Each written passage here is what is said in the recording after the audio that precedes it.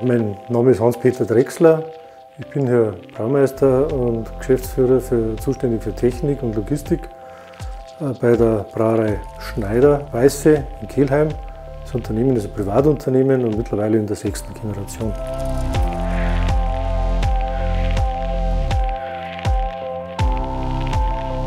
Beim Bierbrauen ist mir natürlich wichtig, dass, dass am Ende ein sehr gutes Produkt rauskommt äh, mit äh, sehr gleichmäßigen Qualität.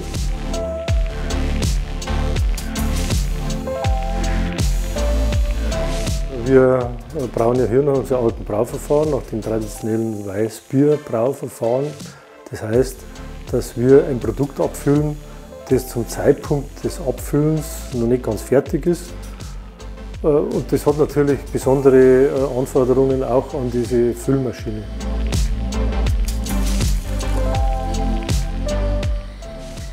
Der neue Füller ersetzt ja eine alte Maschine, die Anforderung war natürlich äh, neueste Generation an Steuerungstechnik.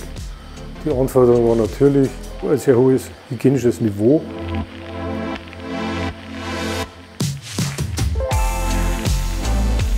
Äh, wir füllen zum Beispiel im Unterschied zu den meisten Kollegen äh, mit Sterilluft ab als Vorspangas. Dadurch können wir auf die Vorevakuierung verzichten die normalerweise üblich ist, wenn man mit äh, Kohlensäure fährt und äh, erspart uns natürlich äh, einiges an Energie.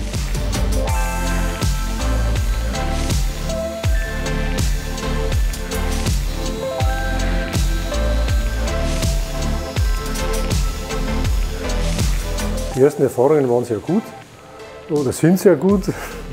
Wir haben ein paar Dinge festgestellt, die uns eigentlich überrascht haben. Zum Beispiel, wir hatten eine Energieeinsparung äh, jetzt äh, festgestellt. Äh, mit der haben wir zunächst einmal gar nicht gerechnet. Das tut uns natürlich gut.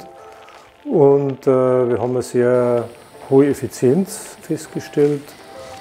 Und ähm, die Störanfälligkeit ist es gering.